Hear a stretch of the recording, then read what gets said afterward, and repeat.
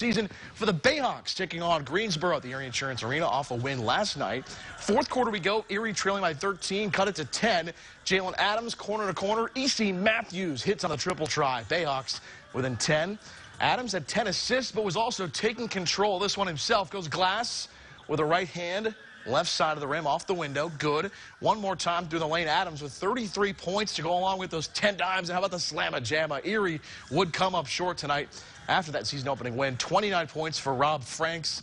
I wonder if he does photography on the side. Bayhawks fall 122-108. I think we grew. I think we took that first step uh, in terms of knowing what we need to build on, knowing where we're, where our strengths are, where our weaknesses are. I thought we had some good progression tonight from game one offensively. We had some regression defensively, as to be expected with fatigue and depth uh, and injuries. But I, I think that it was overall good. There are very positive things from both games that we can do a good job of coming back from.